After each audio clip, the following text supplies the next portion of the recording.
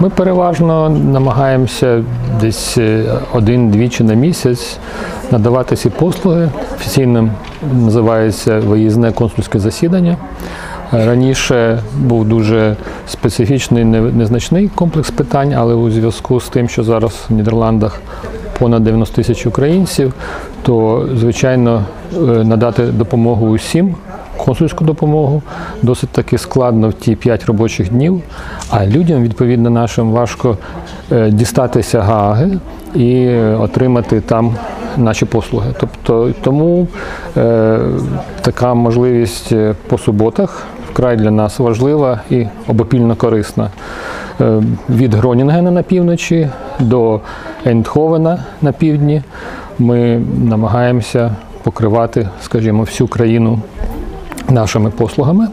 Е, Рекорд це Гронінген було 420 осіб за ці суботні години.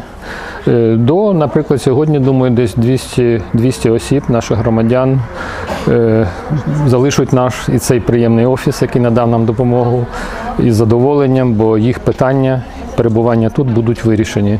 Чи це стосується продовження паспорту, чи внесення дітей до паспортів батьків, чи надання так званого сертифікату ідентифікації особи, бо багато з наших людей е, приїхали із внутрішнім паспортом. Ми допомагаємо людям, які хочуть е, вирішити свої проблеми з податками, або які займаються бізнесом, чи хочуть відкрити бізнес у, Нідерландах.